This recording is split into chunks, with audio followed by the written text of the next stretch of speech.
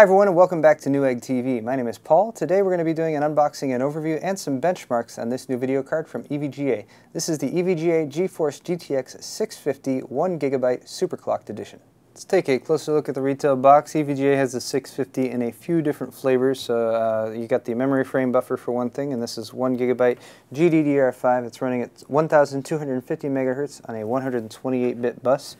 It is PCI Express Gen 3 compliant it's uh, backwards compatible PCI Express Gen 2, so don't worry if you're using an older motherboard. You get uh, DirectX 11 PhysX, 3D vision, uh, a lot of the good stuff that came by way of the Kepler architecture when the 600 series was released. And this is the superclocked edition, which means it's got a factory overclock. Uh, the reference clock for the 650 is 1059 megahertz uh, for the uh, GPU core clock. This one's running at 1202. some, uh, wait, I was going to go to this side.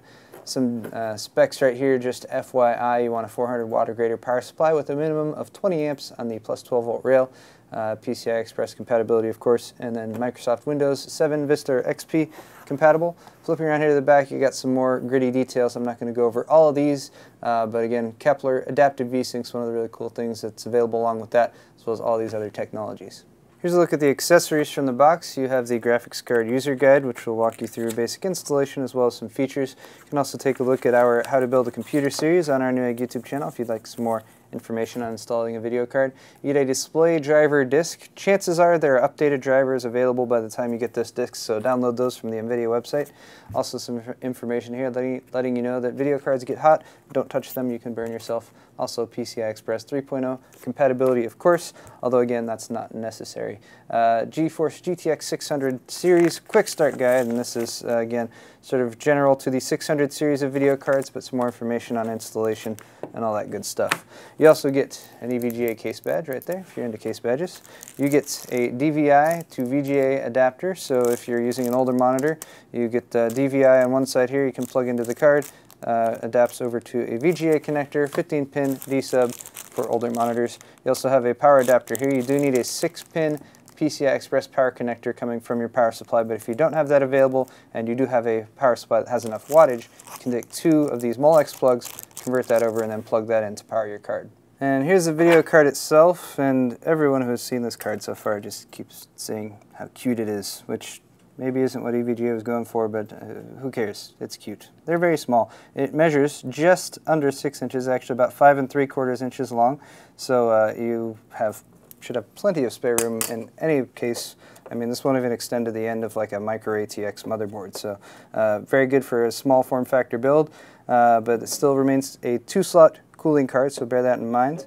And uh, I've left all the plastic on. Actually, I put the plastic back on because I've already benchmarked this card, but I just wanted to show you guys uh, EVGA has definitely gone to great lengths to protect the card on its way to you to make sure that it arrives in pristine condition. But also just to point out that apart from this outer layer of plastic here, you got one on the fan, so peel that off. Don't push down on the fan, by the way. And then, uh, yes, guarantee you might have missed these. There's one up here, across that, and there's another one right here. Really easy to miss, but uh, peel these off.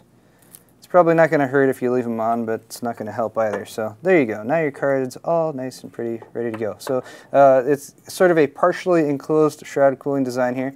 It's black and gray. Uh, if you've got the card installed, chances are you'll be looking at that side of it. So you got a bit of an EVGA logo going on there. Down on this side, you can see the GTX 650, more EVGA logo. You have a single fan right here. There's a radial style, style uh, aluminum heat fin array our heatsink array uh, fins down there. Uh, they've given it sort of a black powder coat finish, so it keeps with the look of the card, as you can see.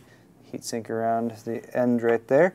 And it keeps the card nice and cool. I've noticed with the 600 series, and especially getting down to the 660 and 650, uh, which aren't as fast of cards, but uh, they do run really, really cool. So if temperature is a concern, definitely uh, you shouldn't have any issues there.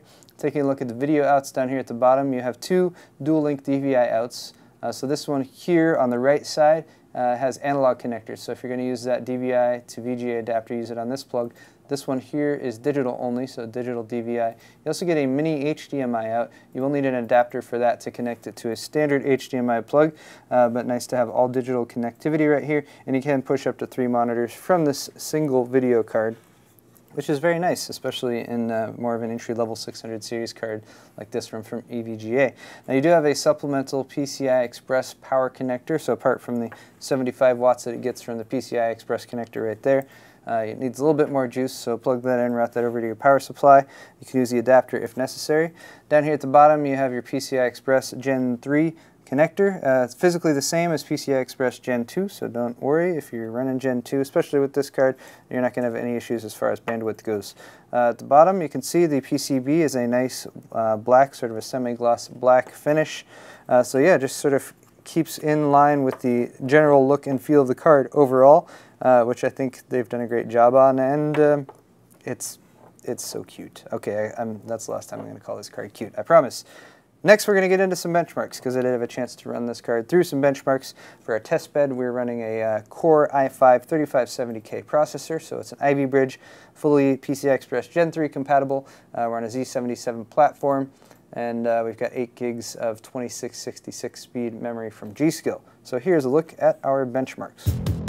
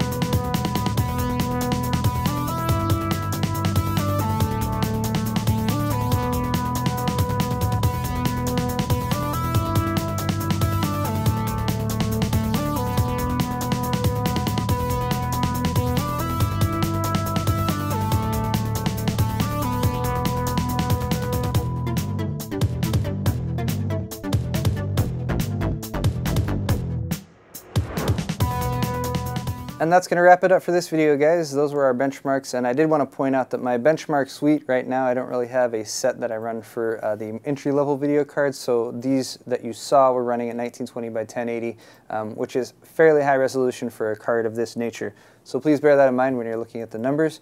Uh, also, the temperatures that you saw, the ambient temperature was 72 degrees Fahrenheit, and I know all those other temperatures were in Celsius, but there you have it.